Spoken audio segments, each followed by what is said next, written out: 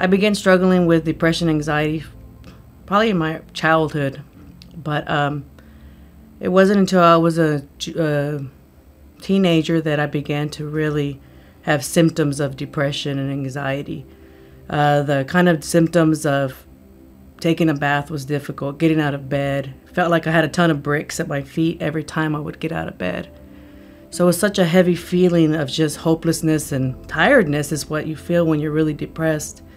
And when you push yourself past that, it gets to a point of where I can't handle this. There's too many people.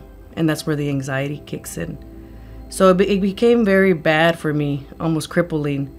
And so that began my walk with medications, antipsychotic. Uh, we did counseling. We did all kinds of different therapies, but nothing would help me. It was like that throughout all of my 20s. And I finally got to the point where I was just hopeless. Mind you, I had been through different institutions. I had been hospitalized due to the depression, and this was on antidepressants.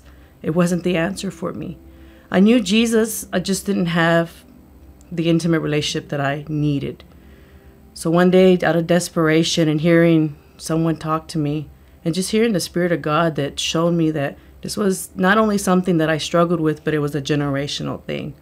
I found out that for me, that these kind required fasting and prayer.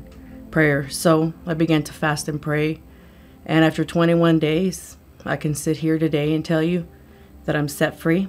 I have not been on medication and antidepressants for over 14, 15 years, and I don't struggle in that way anymore. Now I walk, I have joy. I people tell tell me I don't even know what you're talking about when I tell them the stories of the heaviness and the anger and just the emotional roller coaster that I had for so long. But it feels good to be healed.